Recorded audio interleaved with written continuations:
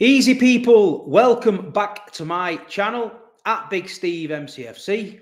Feels like it's been a while. International break, it's been, it's gone. Good riddance. For me, it's the worst time of the year, international break. You know, these random games. Um, Australia, we played, Italy. No interest in them anymore. Gave my tickets away for the England game. Not really feeling it. Um, obviously going into the international break on the back of a defeat to Arsenal is not the best. Um, we've had a couple of weeks to digest it. Uh, the good news is Rodri is back. He's played for Spain. He's looking good.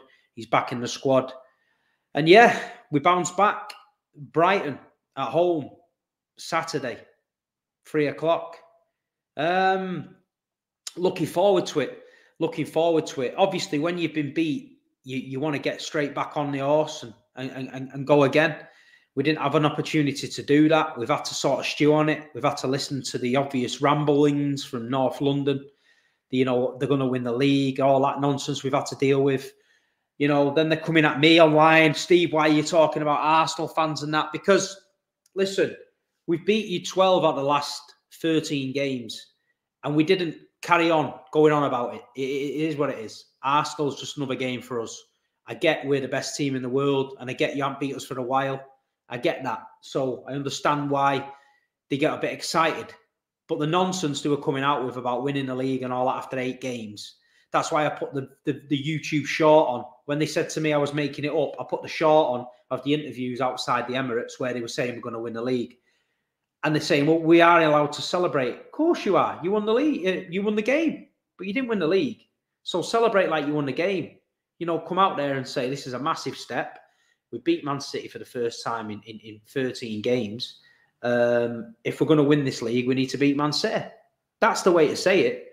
But some of the things I've been seeing, the slander on Erling Haaland, the slander on on on on our on our team. Um, you know, last season the same thing happened. It came back to bite you on the ass. So, you know, be careful what you wish for. So yeah, getting beat off that lot before an international break's not ideal. Uh, just let me have a bit of the old brew. It's freezing today. It's not ideal. Uh, so we get a chance to put it right. We've realised now how important Rodri is to the Manchester City setup. We realise now that these players in the background that can't step up to that level. Um, the last three games we've lost, it's been the final third for me. I just don't think there's anything in that final third to scare anyone. You know, they're going about Saliba and Gabriel pocketing Haaland. Well, Dawson and Kilman did it the week before. So, you know, it's nothing special at the minute. If, you, if you've got the best striker in the world up front and there's no service, then it's pretty easy to handle if there's nothing coming to him. You've just got to basically stand with him. He never got the ball. He never get any crosses in the box to get, uh, you know, the end on it, his head on it or whatever. But you know, it's frustrating. I just hope that Pep realizes that A, you're trying to squeeze Alvarez in this team. I get it. But if you're squeezing Alvarez in the position he's in now, it affects Erling because, you know, there's nothing coming to him at all. The creativity in the midfield is non existent. I do believe Kyle Walker playing on the right, if he's got nobody playing in front of him, then there's no point. You know what I mean? Defensively, sound, the pace, and all that, getting caught out on transitions. Kyle Walker's the best in the world. But last season, when we started to play, John Stones was at right back. Akanji was at right back. You know, these are the things we've got to think about. Saturday, Brighton, for me, go back to basics. My team would be Ederson in net. I'd go with Gvardiol at left back, Dias Akanji, Stones at right back. I'd go for Rodri, Bernardo, Nunes in the middle. Yeah. So I'd have Rodri doing what he does. I'd have Nunes and Bernardo alongside him for the energy. I think that's got that's a good midfield. I'd go for Grealish on the left. I'd go for Foden on the right, and I'd go for Haaland up front. And at every opportunity, I'd be telling Jack Grealish to go at the fullback and get crosses in the box. Same with Foden. Go at the fullback, get crosses in the box. not what we've been doing all season, keeping the ball, knocking it around, keeping the ball, frustrated, frustrated. Let's be a little more direct. Late in the game, you know what I mean? Hopefully we're winning. Late in the game, Jeremy Doku on, same thing. Get to that byline, get them crosses in, be a bit more direct. If anyone thinks Brighton is going to be easy, it's not going to be easy. The last run of results for Brighton have not been good. I think they got beat off Chelsea in the uh, the Carabao Cup. They drew 2 2 with Marseille. They got beat 6 1 off Villa. And then they drew 2 2 with Liverpool. De Zerbi got them playing good football. I actually enjoy watching Brighton play football when they're on it. But the thing is with them, you don't know what Brighton's going to turn up. One minute they're turning up playing people off the park, and you think, some team. Next minute they're getting it for six at Villa. So we've just got to make sure we keep one eye on that. I think Brighton will feel that City is a bit of a wounded animal after the last few results and they can get at us. I like to think that that might play into our hands. If they come to the Etihad and try and play football against us and go toe to toe, I believe we might get at them uh, in in a big way. So that's what I'm hoping for. Um, Erling Haaland, the slander online. You know, are people really that stupid? somebody messaged me said he's a one season wonder. Well, one season wonders don't break Premier League goal scoring records. One season wonders don't win trebles, don't win the European Cup, don't outscore everybody in Europe. One season wonders don't score 61 in 62 games, 27 in 28 for Norway. You know, come on, people.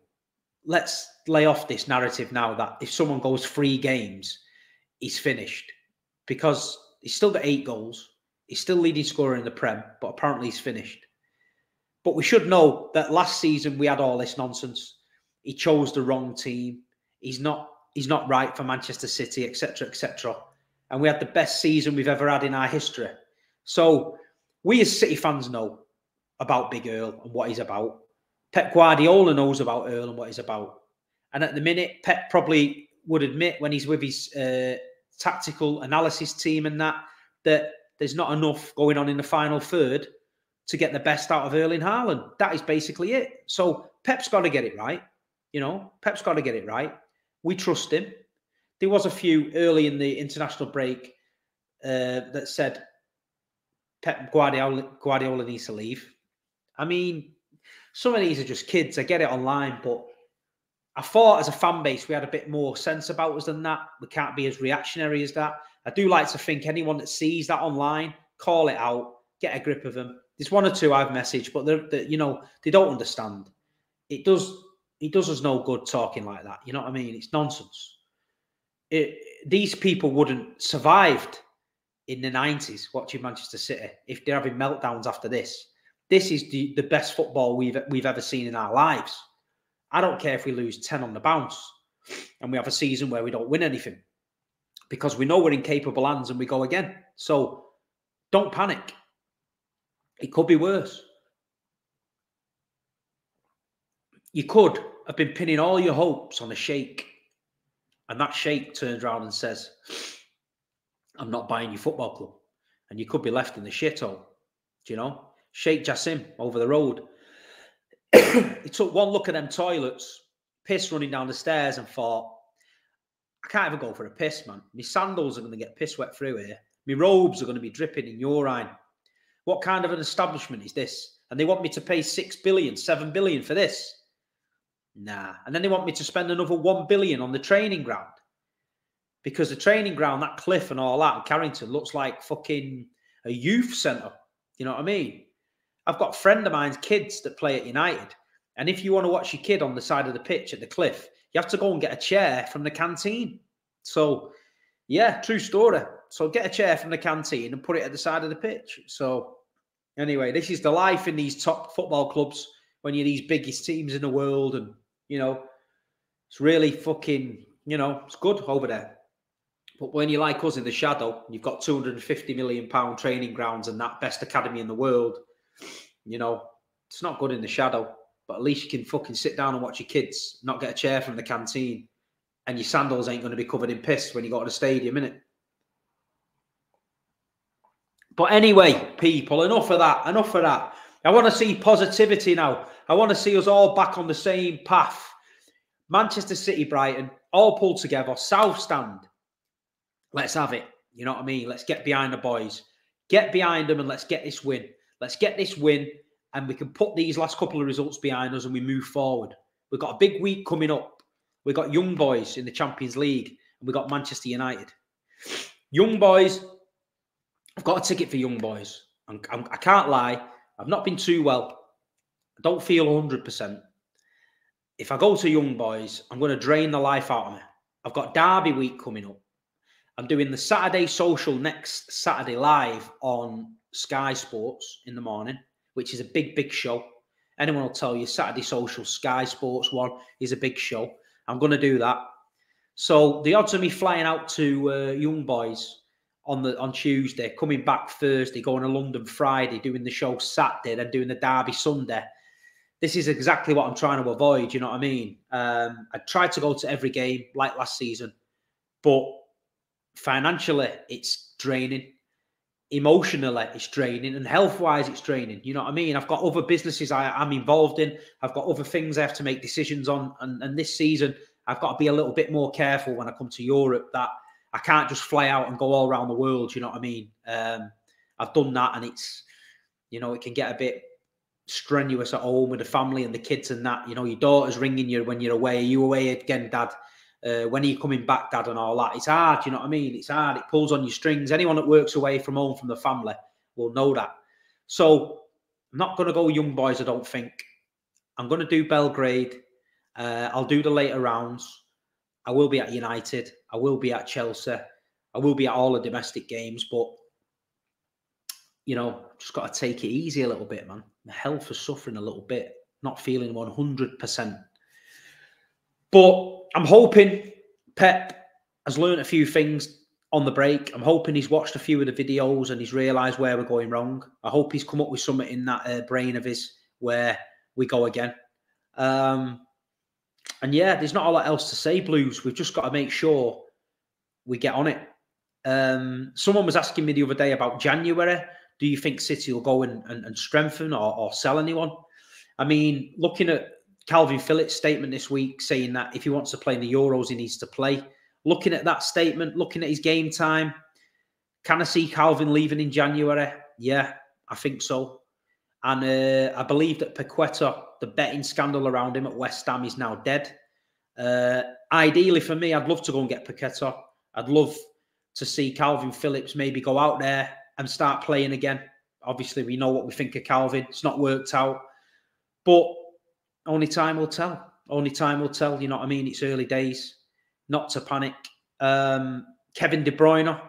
You know, it's people talking about Rodri. Kevin De Bruyne has been a massive miss.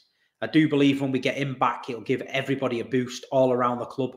But one thing for certain, we've got to make sure we don't rush Kevin back. He's getting older now. These little niggly injuries are starting to creep into his career. We need to make sure we manage him well and we don't overplay him. Do you know what I mean? We've got to not overplay him. And then looking at the De Bruyne situation from from from a from afar, there's got to be somebody to step into that role soon. You know what I mean? We've seen it with all the players at City. We like to get somebody in early as a replacement. Phil Foden playing in the centre for me. I like to see him there, but I don't think he's doing it. I do believe on that wide right, Phil is better. I, would rather Pep just saying, You're not playing central, you're playing wide right. You're a wide right man. That's where I want you, in my opinion. Jack Grealish would be the one for the 10 role for me, the central in the midfield. That's the person I would like to see play in that Kevin De Bruyne role. I've said it a while. You could put Doku out on the left. You could put Bernardo on the right. You could put Foden on the left. You could play Grealish in the middle. I just think that gives us a great option. The reason why Pep don't play him there, I don't know. Do I know that Jack would love to play there? I believe he would, but it is what it is. But anyway, people, match prediction for the game. I'm going to say it's going to be tight. But I think City will get the job done. I think we'll get the job done 2 0. It might be 1 0 late and then we get another one and ease the pressure. I want to see a clean sheet. I want to see three points. And I want to see Manchester City performance where we're all raving about it again. Plenty of movement, plenty of chances, plenty of action in the final third. That is what I want this weekend. Um, been offered to go in a box this weekend, believe it or not. You know, I don't go in these boxes often. Well, I've never been in one, to be honest, at the Etihad. Um, Asahi Superdry want me to go in a box and do something with their 0% lager. So I might do that. I might do. I might just nip in there, have a bit of prawn sandwich. You know what I mean? Um, but we'll see. But I'll be there anyway, 100%. I'm at the game. And before you all start saying, oh, Big Steve's changed, he's going in the uh, the box and all that, listen, the amount of boxes and corporate stuff I turn down is ridiculous. But because I'm feeling a bit poorly, because it's getting a bit cold, Big Steve's getting a bit old, I'm thinking, ooh, nice warm box, bit of beef with some veg, couple of Asahi Superdry 0%. Started to sound good, that. You know what I mean? You can tell how rough I am. I'm not even shaved. Look, look at the state of me, man. I look like I've been dragged out of a fucking, uh, out of a doorway on Market Street. Do you know what I mean? But anyway, listen, people, please hit the like button. Please subscribe to my channel. Please keep spreading the word. Leave a comment below. Let me know what score you think it's going to be, and I'll get back to all the comments. And all I'm going to say is, come on, City. Let's go. Big week coming up. Get Brighton dealt with. Move on to young boys. And then we got the Swamp Dwellers next week. Come on, City.